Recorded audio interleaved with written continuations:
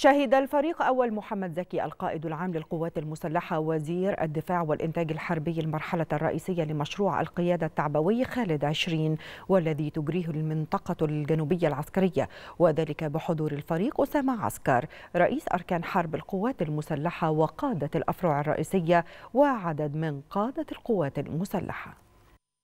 شهد الفريق أول محمد زكي القائد العام للقوات المسلحة وزير الدفاع والإنتاج الحربي. المرحلة الرئيسية لمشروع مراكز القيادة التعبوي خالد عشرين والذي تجريه المنطقة الجنوبية العسكرية ويستمر لعدة أيام في إطار خطة التدريب القتالي للقوات المسلحة. وذلك بحضور الفريق أسامة عسكر رئيس أركان حرب القوات المسلحة وقادة الأفرع الرئيسية وعدد من قادة القوات المسلحة. وألقى اللواء أركان حرب محب حبشي خليل قائد المنطقة الجنوبية العسكرية كلمة. أكد فيها على استعداد مقاتلي المنطقة الجنوبية العسكرية لتنفيذ كافة المهام التي توكل إليهم وبذل كل الغالي والنفيس للدفاع عن أمن الوطن وسلامة أراضيه. مقدما الشكر للقيادة العامة للقوات المسلحة على الدعم المتواصل للمنطقة الجنوبية العسكرية.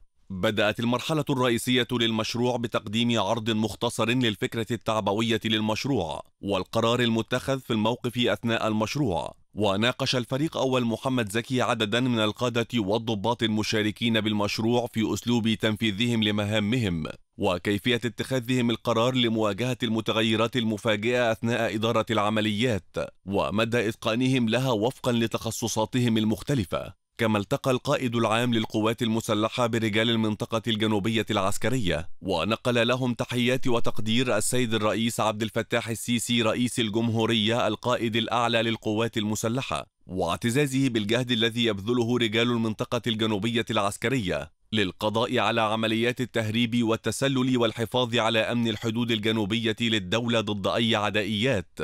مشيدا بالمستوى الراقي الذي ظهرت به كافة العناصر المنفذة للمشروع بما ينم عن استعداد قتالي عال وتدريب مرموق أدى إلى الاحترافية في تنفيذ المشروع. كما طالب مقاتلي المنطقة الجنوبية العسكرية باليقظة والاستعداد الدائم والحفاظ على أعلى معدلات الكفاءة والاستعداد القتالي لتنفيذ كافة المهام التي توكل إليهم بكفاءة واقتدار. وكان الفريق أسامة عسكر رئيس أركان حرب القوات المسلحة قد شهد إحدى مراحل المشروع والتي تضمنت عرض التقارير والقرارات المنفذة لكل الوحدات أثناء مراحل إدارة العمليات.